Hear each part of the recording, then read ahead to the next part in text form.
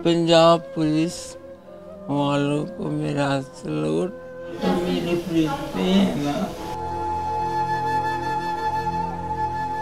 कि एक ट्रांसजेंडर हैं, जिनका नाम है मोहम्मद इरफान। उनके पास ना तो कोई फैमिली मेंबर है, उनका ख्याल रखने वाला, ना ही उनका कोई ऐसा गार्डियन है या चेला है जो उनका ख्याल रख सके, और वो एजड हैं काफ़ी।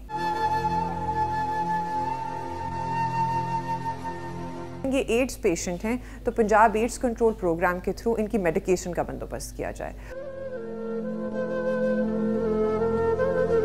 मेरा रूम है रूम किधर है? उसका चार हज़ार रुपया किराया चार अभी दे दिया किराया नहीं दिया? मेरा बेस पच्चीस हज़ार दे देते हैं पच्चीस हज़ार रुपया। पुलिस वालों ने तंग तो नहीं किया?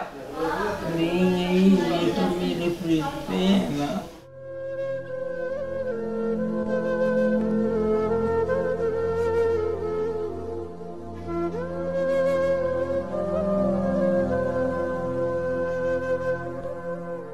पंजाब पुलिस वालों को मेरा सलूट और मेरी जितनी दी ज़िंदगी है ना, मैंने कहा कि मैं पंजाब पुलिस की किस्मतदार रहूँ।